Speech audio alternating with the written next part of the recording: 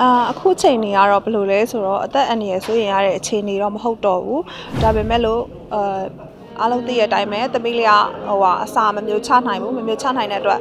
သူ့နှာခေါင်းကနေပြီးတော့ဒီပိုက်ကလေးနဲ့ပေါ့နော်ဒီလိုအပ်တဲ့နို့နဲ့အာဟာရတွေအကုန်လုံးကိုထည့်ပေးနေရပါတယ်ကိုကလည်းဘယ်လိုပြောရမလဲအဲ တချို့တစ်ခါတလေများဆိုလို့ရှိရင်အကုန်လုံးကဟိုခလေးကလက်လျှော်ရတော့မယ်နောက်တစ်ယောက်ရှူဖို့ဒါစဉ်းစားထားတော့အဲ့လိုမျိုးတွေလည်းပြောပြောခံရတယ်ပေါ့နော်အဲဒါပေမဲ့အဲ့ချိန်မှာလည်းကိုကလုံးဝအားလုံးဝမလျှော့ခဲ့ဘူးအဲယောက်ျားနဲ့လည်းတိုက်ပင်နေငါတို့မရမကဒီကလေးကိုလည်းအသက်ရှင်အောင်ငါတို့မွေးကြမယ်ဆိုပြီးတော့အရင်စူးစမ်းခဲ့ပါတယ် သူတည်းရနေကကြတော့ဘယ်လိုပြောရမလဲဟိုငကိုတွေကလည်းတငယ်ချင်းပေါင်းလဲပေါင်းနေပြီးတော့အရန်စိတ်တူကိုတူဖြစ်တယ်အခုလိုမျိုးအဲစိတ်ညစ်ရတဲ့အချိန်တွေအများများတဲ့ခါမှာလဲအဲအရန်ကျေးဇူးတင်တဲ့သူ့ကိုအများကြီးလေဟိုကိုစိတ်သက်ကြရလဲသူအားပေးရသူစိတ်သက်ကြရကိုအားပေးရအဲ့လိုနဲ့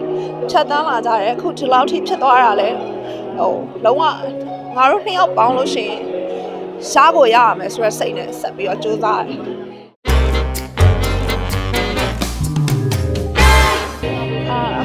လောလောဆယ်တော့သူ့ကိုဒီခြေထောက်တွေလက်တွေတန်အောင်လို့လေ့ကျင့်ခန်းတွေလုပ်ပေးပါတယ်ပြီးတော့ဟိုအခုလောလောဆယ်မှာတော့ဒါကတော့ဆရာဝန်တွေနဲ့တိုင်ပင်ဆွေးနွေးပြီးတော့ဟိုစောင့်ကြည့်နေရတာပေါ့နော်ဟိုတခြားဟာတော့ဘာမှဟိုဘယ်လိုပြောမလဲဟိုကြီးကြီးမားမားအခုချိန်မှာဘာမှ ကုလို့လည်းမရသေးဘူးပေါ့နော်သူသူ့ရဲ့စူးစမ်းမှုပေါ်မှာလည်းအများကြီးမူတည်ရဲကိုယ့်ရဲ့ခရူးဆိုင်မှုပေါ်မှာလည်းမူတည်ရဲသူ့အချိန်ပေးရမယ်သူများထက်သူများကလေးထက်ပို့ပြီးတော့ပို့အချိန်ပေးရမယ်ပို့ခရူးဆိုင်ရမယ်ဒါပေမဲ့အာရတော့သူ့ရဲ့တဖြည်းဖြည်းတစ်နေ့ထက်တစ်နေ့သူတိုးတက်လာတဲ့အချိန်တွေကိုကြည့်ပြီးတော့ကိုယ်လည်းအားတက်လာပါတယ်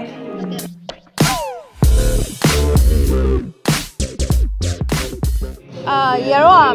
မွေးမယ်လို့စဉ်းစားထားတဲ့ရက်ပေါ့နော်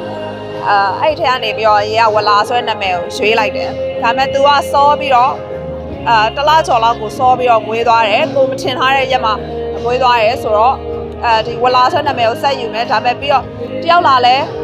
ဟိုဒီကလေးလေးကပိုးလေးလို့မွေးရမှာနော်နောက်ပြောက်လာတယ်ဒီကလေးလေးကပိုးလေးလို့မွေးရမှာသူကလည်းကြာတာပရိသမီးဆိုတော့ကွက်တီပဲဆိုပြီးတော့ပိုးဝက်လာပြီးတော့ဘိုးကတော့သူ့ဖေနာမည်ပေါ့ဟုတ်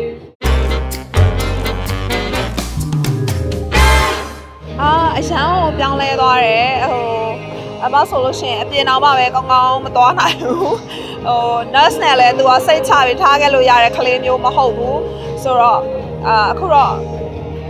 ဒါတော်တော်လေးကိုတိုးတက်လာတဲ့အခြေအနေဟုတ်လို့အပြင်ထွက်တော့မဆိုမှအလုံးဝကိုအပြင်ကိုမထွက်ဘူးသူ့နားမှာပဲတောက်လျှောက်နေတာပေါ့နော်အဲသူများနဲ့အပြင်လူနဲ့လည်းစိတ်မချရတဲ့အတွက်လင်မယားနှစ်ယောက်ပဲဟိုသူကအချိန်နဲ့ပေါ့နော်ဟို သူများနေလိုမျိုးဗိုက်စာတဲ့အချိန်မှာထတိုက်လိုက်ရအဲ့လိုမျိုးမဟုတ်ဘူး။နာရီနဲ့မှတ်ထားရတယ်။နာရီ3နာရီကြာတစ်ခါဆိုတော့တစ်ညလုံးတစ်နေ့လုံးကအဲ့လို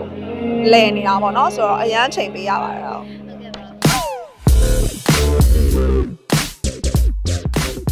Facebook မှာတော့အပြင်မှာအများကြီးတွေ့လို့ရှင်အားပေးကြတယ်ပြီးတော့ဆုတောင်းပေးကြတယ်သမီးအတွက်ကိုအဲ့တော့ကိုချစ်စုအများကြီးတင်ပါတယ်အဲ့လို